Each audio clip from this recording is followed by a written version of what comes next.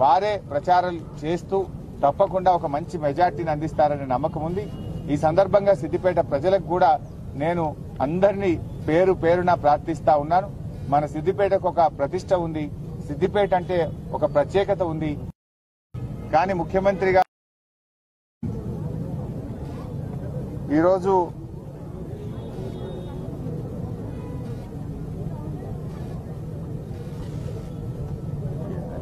ప్రజలందరూ కూడా గర్వించే విధంగా వాళ్ళు కోరుకున్న పనులే కాదు వాళ్ళు అడగనటువంటి పనులను కూడా చేస్తూ వచ్చిన విషయం కూడా మీ అందరికీ తెలుసు. ఇలా కేసీఆర్ గారి ఆశీస్సులతో యావత్ తెలంగాణ రాష్ట్రం అదేవిధంగా సిద్దిపేట కూడా ఈరోజు సస్యశ్యామలమైపోయి రెండు పంటలు పక్కాగా పండుతున్న పరిస్థితి. ఆనాడు తెలంగాణ అంటే కరువు కాటకాలు తెలంగాణ అంటే వలసలు రైతు ఆత్మహత్యలు ఆకలి చావులు తెలంగాణగా ఉండేది. కానీ ముఖ్యమంత్రి గారు ఈరోజు ఎంతో నిబద్ధతతో గత పదేళ్ళు ఈ రాష్ట్రాని కోసం కష్టపడి ఇలా వలసలు లేని రాష్ట్రంగా రైతు ఆత్మహత్యలు లేని రాష్ట్రంగా ఈ రాష్ట్రాన్ని వారు తీర్చిదిద్దారు. ఇలా ఈ రాష్ట్రం అన్ని రంగాల్లో అభివృద్ధి జరిగింది.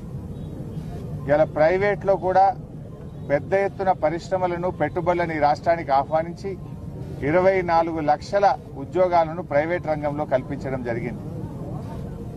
ఐటీలో ఆరు లక్షల ఉద్యోగాల కల్పన జరిగింది. రాష్ట్ర ప్రభుత్వం ఇప్పటికే దాదాపు లక్ష ఎనభై వేల ఉద్యోగాలు ప్రభుత్వ ఉద్యోగాల నియామకాలు కూడా చేపట్టడం జరిగింది. అంటే ఇవన్నీ జరుగుతూ వస్తూ ఉన్నాయి. ఇంకొక వైపు ఇవాళ దేశం మొత్తం కూడా తెలంగాణ ఆచరిస్తుంది దేశం అనుసరిస్తుంది అన్నంత గొప్పగా ఇవాళ ముఖ్యమంత్రి గారు ఈ రాష్ట్రాన్ని తీర్చిదిద్దారు. కొంతమంది పక్క రాష్ట్రాల నుంచి ఇక్కడ ప్రచారానికి వస్తా ఉన్నారు. కాంగ్రెస్ నాయకులు బీజేపీ నాయకులు. మీరు ఒక్కసారి ఆత్మవిమర్శ చేసుకోండి. ఈ రాష్ట్రంలో అమలవుతున్నటువంటి అభివృద్ధి సంక్షేమ కార్యక్రమాలు చూసి నేర్చుకోండి అని నేను వారికి హితవు పలుకుతా ఉన్నా.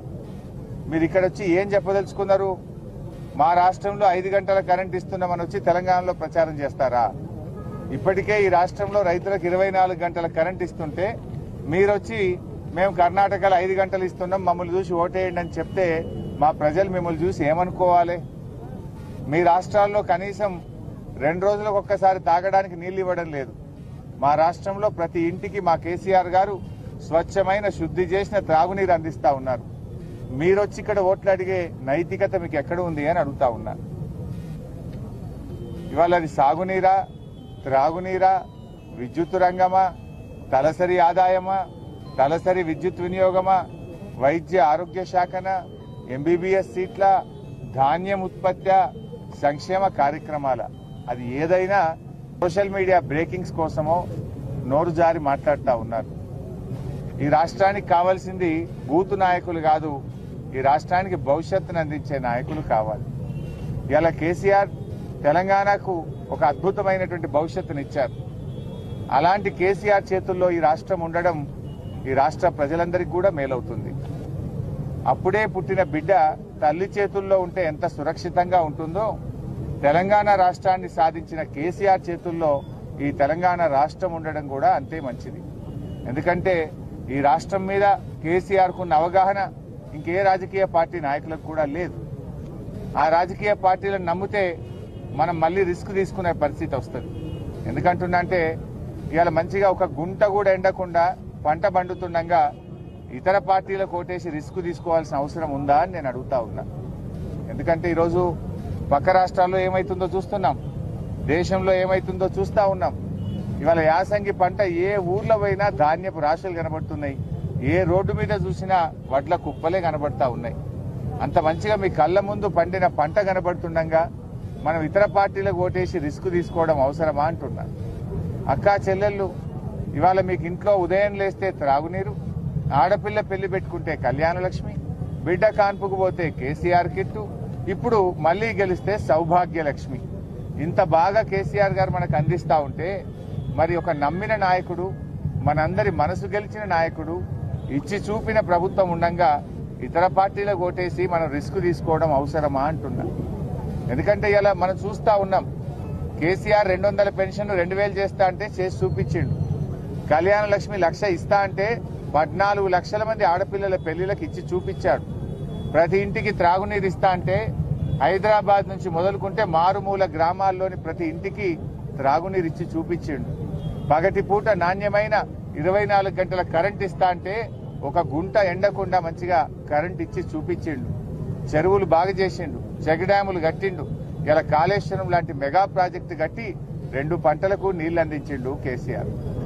అందువల్ల ఇంత బాగా మన పనులు జరుగుతూ ఉంటే మరి నమ్మి ఈ బీజేపీలకో కాంగ్రెస్ వాళ్ళకో ఓట్లేస్తే మళ్ళీ మనం మోసపోతాం. పదేళ్ళు వెనకకు పోయేటువంటి పరిస్థితి ఉంటుంది. నమ్మి నానబెడితే ఏదో పుచ్చులైపోయినాయి అని వెనకటో సామెత ఉండేది. మరి వీళ్ళని నమ్మితే ఇలా కాంగ్రెస్లో ఏమైందో మనం వింటున్నాం. హిమాచల్ ప్రదేశ్లో ఏమైందో వింటున్నాం మనం. ఇవాళ వాళ్ళ రాష్ట్రాల్లో చూస్తే ఆరు వందల పెన్షన్ లేదు. వాళ్ళ రాష్ట్రాల్లో చూస్తే ఎక్కడ కూడా సాగునీరు తాగునీరు లేనటువంటి పరిస్థితి. మూడు రోజులకు ఒకసారి నల్లా వస్తుంది. కరెంట్ అయితే ఉండనే ఉండదు. పెన్షన్ ఆరు వందల రూపాయలే ఉంటుంది. రైతు బంధు లేదు. కళ్యాణ లక్ష్మి లేదు. మరి వీళ్ళు మన దగ్గర చేస్తామంటే కన్న తల్లికి అన్నం పెట్టనోడు పినతల్లికి బంగారు గాజులు చేయిస్తాడు అన్నట్టు ఉన్నది. అధికారంలో ఉన్ననాడు ఈ కాంగ్రెస్ పార్టీ బీజేపీ వాళ్ళు పనిచేయలేదు. అది ఈ రోజు అధికారంలో ఉన్న రాష్ట్రాల్లో కూడా వాళ్ళు ఏమీ చేయలేకపోతా ఉన్నారు. రేపు తెలంగాణలో చేస్తారని నమ్మితే మళ్ళీ మనం మోసపోయేటువంటి అవకాశం ఉంటుంది. ఇవాళ సిద్దిపేట ప్రజలే ప్రచారకులుగా వారి ఆలోచనలు వారి మనసులో ఏముందో ఇవాళ అభివృద్ధి రూపంలో కళ్ళ ముందు ఉంచడం జరిగింది. అభివృద్ధి అనేటువంటి ఒక పరీక్ష నేను రాశాను. మరి ప్రజలు నాకు ఎన్ని మార్కులు వేస్తారనేది ప్రజల చేతుల్లో ఉంది. నాకు సిద్దిపేట ప్రజల మీద సంపూర్ణమైన విశ్వాసం ఉంది. ప్రజాస్వామ్య పరిరక్షకులు మా సిద్దిపేట ప్రజలు. అభివృద్ధిని కోరుకునే ప్రజలు మా సిద్దిపేట ప్రజలు. ఇలా ఎన్నికల ముందు వచ్చే మరి వచ్చేటువంటి వాళ్ళు కొంతమంది అయితే ఎన్నికలు ఉన్నా లేకున్నా నిత్యం ప్రజల మధ్య ఉంటూ వారి యోగక్షేమాలు తెలుసుకుంటూ వారి మనసులో వారు కోరుకున్న అభివృద్ధిని చేసి చూపిస్తూ వారికి ఏ ఆపద పడ్డా సంపద పడ్డా దుఃఖంలోనైనా కష్టాల్లోనైనా సంతోషంలోనైనా వారి మధ్య ఉన్నాం. ఏ పండగ జరుపుకున్నా ప్రజల మధ్య జరుపుకున్నాం. ఏ ఊర్లో పండగ జరిగినా ప్రజల మధ్యే ఉన్నాం. ప్రజలే దేవుళ్ళుగా ప్రజలే కుటుంబ సభ్యులుగా మరి ఇంతకాలం సేవ చేస్తూ వచ్చాం. మరి ఆ ప్రజలే మరి తప్పకుండా రేపు ఎన్నికల్లో కూడా ఎవరికి వాళ్ళు వారే ఒక ప్రచార కార్యకర్తలుగా వారే ప్రచారం చేస్తూ తప్పకుండా ఒక మంచి మెజార్టీని అందిస్తారనే నమ్మకం ఉంది. ఈ సందర్భంగా సిద్దిపేట ప్రజలకు కూడా నేను అందరినీ పేరు పేరున ప్రార్థిస్తా ఉన్నాను. మన సిద్దిపేటకు ఒక ప్రతిష్ట ఉంది. సిద్దిపేట అంటే ఒక ప్రత్యేకత ఉంది. మన సిద్దిపేట అంటే ఒక గౌరవం ఉంది. ఆ ప్రతిష్టను నిలుపుకుందాం. ఆ గౌరవాన్ని నిలుపుకుందాం. గతంలో కూడా రాష్ట్రంలోనే అత్యధిక మెజార్టీని అందించి సిద్దిపేట పేరు ప్రఖ్యాతులను రాష్ట్ర స్థాయిలో నిలబెట్టిన ఘనత సిద్దిపేట ప్రజలది. మరొకసారి అలాగే రాష్ట్రంలోని అతిపెద్ద మెజార్టీని అందించి మన సిద్దిపేట పేరు ప్రఖ్యాతులను దేశ నలుమూలలో నిలుపుకునే విధంగా మీరందరూ నన్ను ఆశీర్వదించాలని మీ గౌరవమే నా గౌరవం నా ప్రతిష్టే మీ ప్రతిష్ట మీరు మేము అంతా ఒకటే.